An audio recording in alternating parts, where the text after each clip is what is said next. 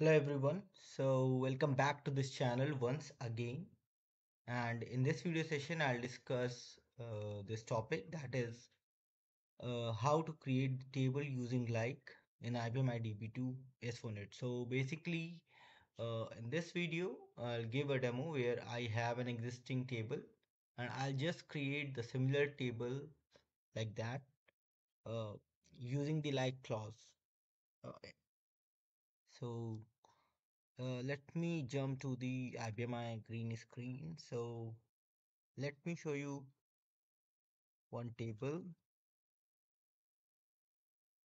So it's the table PF1 where we have three fields emp ID, emp name, manager ID.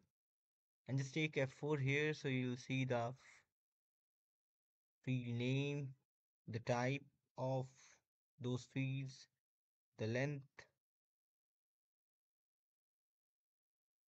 etc. So now I want to create another table, let's say PF2 and I don't have that and that I want is to be similar to PF1. So what I'll do, I'll use the create table statement and I'll mention create table PF2 like PF1. So you can see table PF2 in easy class 1 created but was not journal. So this is created in my current library and it's not journal.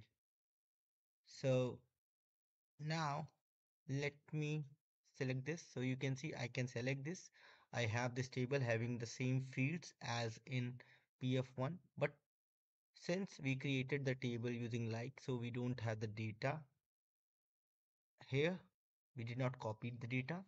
Let's take f4 and see whatever the type and the length all these things are same. So this way you can create a similar table out of an existing table and that's a very simple way to do this.